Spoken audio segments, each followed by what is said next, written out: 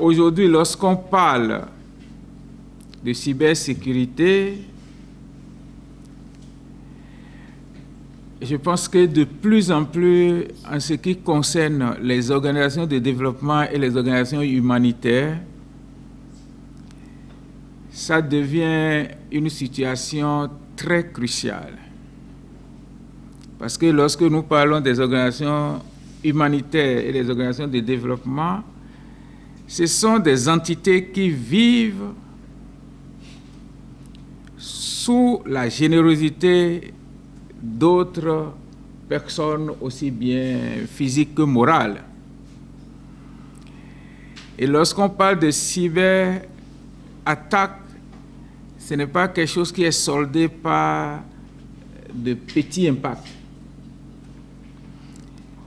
Ça affaiblit beaucoup.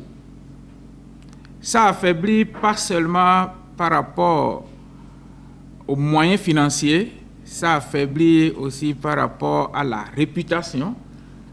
Ça vous ramène même devant des tribunaux parce que des données que vous stockez, qui sont par ailleurs des données à caractère personnel, sont désormais détenues par quelqu'un quelque part et qui vous fait toute la menace. Et si vous n'accédez pas à ces exigences, il pourrait en faire ce qu'il veut. Mais ces données-là ont quitté où? Ça veut dire que notre responsabilité est entière.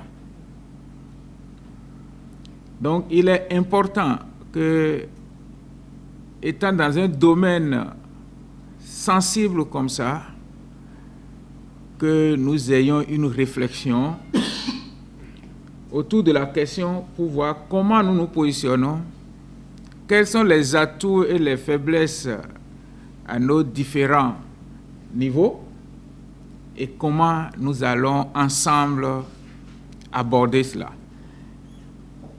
C'est pour dire, au-delà de ce qu'on vous a partagé dans les thèmes de référence, c'est l'essentiel de ce qui justifie la rencontre de ce jour.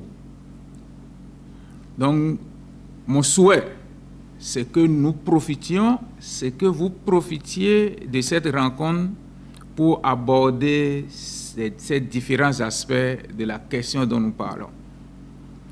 Je n'en suis pas un spécialiste. Ce que je dis n'est que quelques aspects sur lesquels on m'a briefé. Je sais que vous êtes euh, les mieux avertis dans le domaine et avec les panélistes, avec vos différentes euh, expériences, excusez-moi, avec vos différentes expériences, je pense que de cette rencontre, des recommandations et des dispositions aussi pertinentes que réalistes vont sortir pour que le monde humanitaire et le monde de développement en revue de Guinée soient plus avertis, soient plus préparés dans, dans cette nouvelle dynamique que nous sommes désormais, parce que nous ne pourrons plus travailler en disant que non, on va retourner à l'ancienne, il n'y aura plus d'Internet, on va travailler sans ordinateur, etc. Nous sommes déjà sur le chemin de non-retour, ce n'est plus possible. Mais en intégrant ce nouveau contexte, comment nous allons travailler pour que nous soyons plus sûrs et que ceux avec qui nous travaillons soient aussi plus sûrs à travailler avec nous.